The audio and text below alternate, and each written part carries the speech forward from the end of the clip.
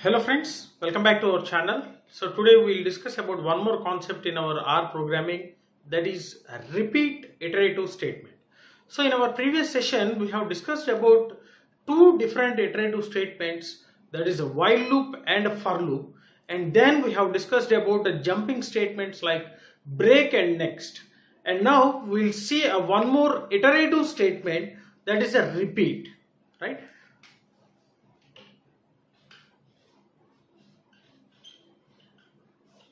So the name itself indicates this repeat statement will execute the set of, set of instructions multiple times. So what's the difference over this repeat with the for loop and while loop? So in the while loop, okay, so we are writing the condition.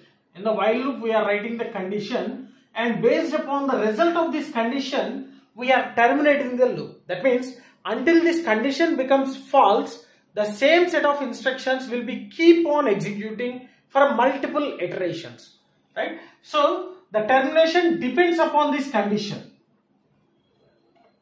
So when the termination that means when the iteration should be stopped that will depends upon this condition. And coming to the for loop and here we are going with the sequence and membership operator in or not in. So the termination depends upon this particular sequence. So whether the loop variable holds the value which is available in this particular sequence. So if the loop variable holds the value which is out of this sequence then immediately the termination will be I mean the iterations will be terminated. So this is for for loop. Now what is a repeat? So we are saying that repeat is also a category of iterative statements that means here also the same set of instructions will be keep on executing multiple times. So here what about the termination? So when the there will be termination. So here there will be no condition. So we are not able to write any condition and also no sequence. So we are also not going with any other sequence. So just so this is not possible, right? So we are not writing any condition and not any sequence. So when the uh, instructions will be terminated if we use this repeat. So the instructions will be terminated with a break statement. With a break statement. That means this repeat is always infinite loop. Infinite loop, right? This repeat is always an infinite loop and the infinite loop will be terminated only with the help of a break statement. So the same way the repeat we are not writing any condition we are not writing any sequence and just by using the repeat keyword we are going to execute the same set of instructions multiple times. So whenever until until the break statement is get executed. So we have already seen the importance, the syntax and the working of break in our, uh, in our uh, previous session, right? So once go through that one and see whenever the control executes this break, immediately the loop will be get terminated. So in the absence of this break, in the absence of this break, the repeat will be always an infinite loop.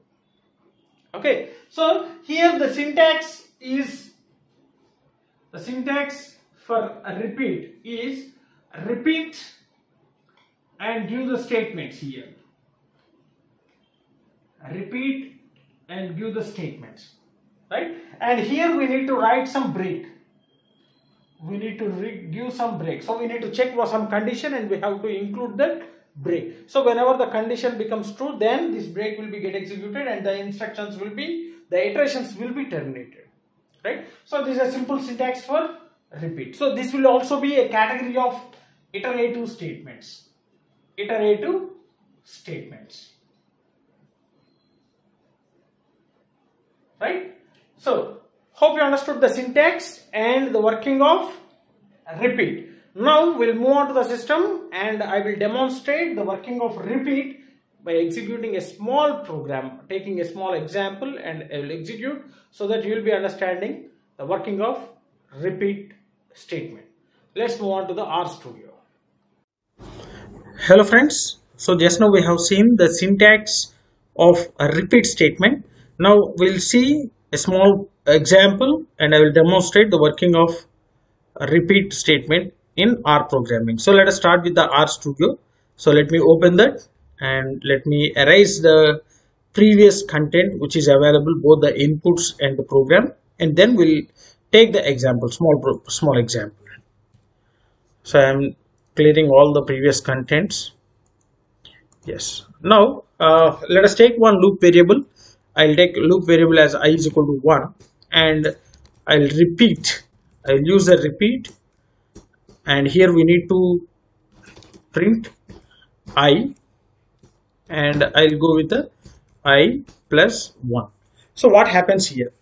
So this is the instructions we are giving these two are the instructions we are giving inside the repeat statement.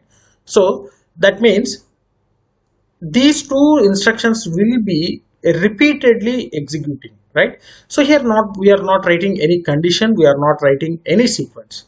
So this will lead to infinite loop. For example see this will lead to infinite loop.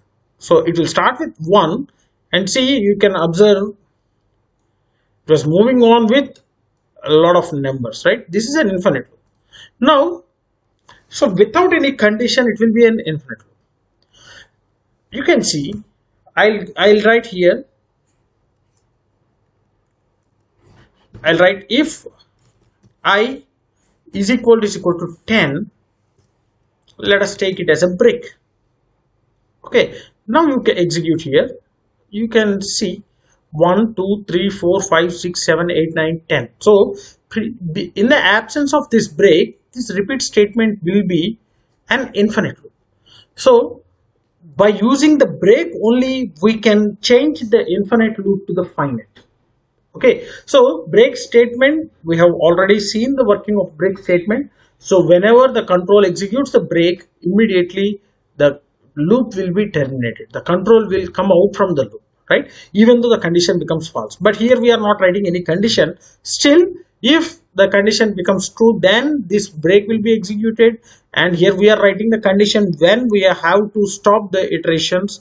So if i is equal to is equal to 10 then we are saying that break. So immediately when i whenever i becomes 10 immediately the control will stop iterating right?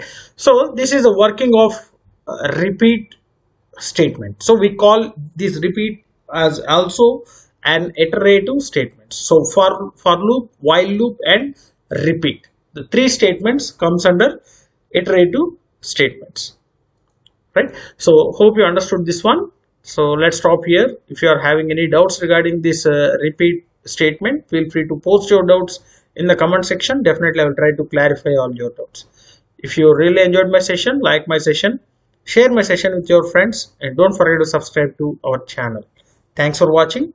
Thank you very much